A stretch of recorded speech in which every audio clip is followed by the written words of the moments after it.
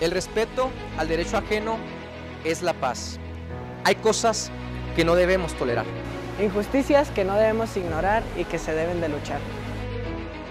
No dejaremos que ladrones se lleven el patrimonio de miles de chihuahuenses. Aquí estamos, no están solos. Debemos denunciar ante la autoridad. Mentiras como esta son consideradas un fraude. Ven y denuncia a Canal 27. No estamos solos. Expertos se unen a esta lucha, porque siempre estaremos del lado de la justicia.